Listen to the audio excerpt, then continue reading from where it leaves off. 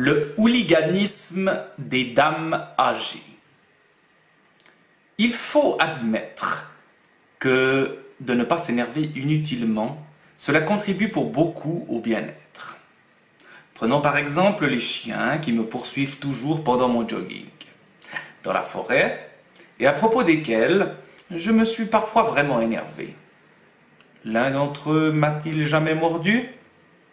Non. Je recommencerai donc à m'énerver lorsque l'un d'entre eux me mordra. Entre-temps, je ne me fais plus de bile, ma qualité de vie s'améliore et les propriétaires des chiens se sentent moins forcés de s'excuser. Peut-être bien que, même pour les chiens, la promenade en forêt est devenue plus agréable. Autre exemple. Les jeunes originaires des Balkans devant le McDonald's à propos desquels les auteurs de lettres de lecteurs s'énervent tant. Personnellement, aucun d'entre eux ne m'a jamais paru particulièrement dangereux. Aucun ne m'a promis sans raison une paire de claques, piqué mon porte-monnaie ou enlevé mon vélo. Pendant leur loisir, ils traînent par là en training, et quand on leur demande du feu, ou qu'on veut savoir l'heure, ça leur fait plaisir. Aucune raison de s'énerver. Dans le pire des cas, l'un d'entre eux crache son chewing-gum sur le trottoir. En tout cas, la blessure sur ma cuisse me vient du parapluie d'une dame âgée qui, à la gare d'Olton, voulait à tout prix monter avant moi dans le train pour Bâle.